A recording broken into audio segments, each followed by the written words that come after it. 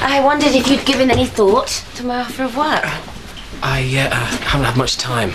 I'm surprised. Don't seem to have that much on at the moment. What are you doing here? Come to have a word with Sid. What, again? What are you playing at? As I told you before, if I can help you move, I will. Oh, you found us somewhere else to live, have you? What's going on? You better ask Fancy Pants here. It's nothing for you to worry about. I've got my eye on you, lady. Back off, Chaz. If you believe anything that woman says, you're a mug. No, isn't it about time you went to work? Look, come on. Come on. Sorry. You've done nothing wrong. Emma. Here you go.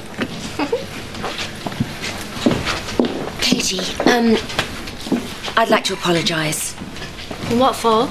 Well, um, you walked in on that row between Chaz and I. Can't have been pleasant for you. Yeah, well, you were hassling her and she's a mate. She's been really good to me. So, where do you work? I take it you're on your lunch hour. The factory. Really? You don't strike me as factory fodder. Yeah, well, I messed up my exams, didn't I? And have you not looked for anything else? You know, my family employs a lot of people. But are you trying to bribe me? No, I wouldn't insult your intelligence, but there may be some jobs coming up. I'd keep my eyes open if I were you. Don't rule it out just because I suggested it. Think what's best for you.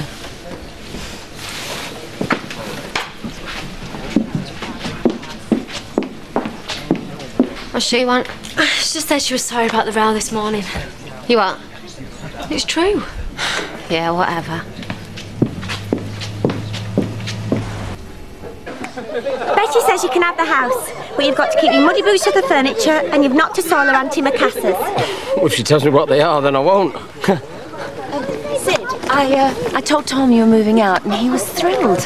Great. So um, watch this space, huh? She's gorgeous, isn't she? Wouldn't do anything for me. Shut up. You wouldn't say no? And she thinks she can do what she wants just because she's got a bit of money. So? So I'm not impressed. Fair.